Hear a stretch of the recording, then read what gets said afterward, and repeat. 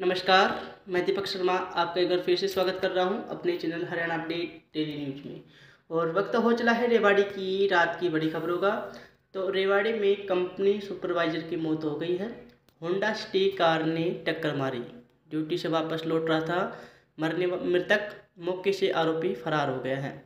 रेवाड़ी शहर के bowl road स्थित बिठवाड़ा चौक पर एक तेज रफ्तार होंडा सिटी कार ने बाइक को टक्कर मार दी। हादसे में बाइक चालक प्राइवेट कंपनी के सुपरवाइजर की मौके पर ही मौत हो गई है।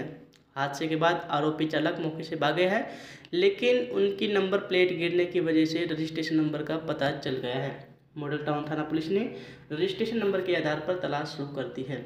गुरुग्राम के बसई रोड निवासी अरविंद, जिनकी उम्र करीब तैंतीस साल थी, रेवाड़ी के बावल स्थित सनबिन कंपनी में सुपरवाइजर काम करता था और पिठवाड़ा के समीप यूनिक विहार कॉलोनी में रहता था। इसी कंपनी में कार्य करने वाले सुपरवाइजर अरविंद के दोस्त शक्तिनगर पार्ट टू निवासी शुभम ने बताया कि बी शिफ्ट ड्यूटी करने के बाद वह दोनों अलग अलग बाइक से वापस रेवाड़ी की तरफ़ आ रहे थे। बिठवाड़ा के इसमें पहुँचने के बाद जैसे ही अरविंद ने अपनी बाइक को यूनिक बिहार की तरफ़ मोड़ा तो अचानक रेवाड़ी की तरफ़ से आ रही एक तेज रफ्तार होंडा सिटी कार ने टक्कर मार दी। टक्कर लगने के बाद अरविंद काफ़ी दूर तक उछला और सड़क पर लवलुहान होकर गिर गया।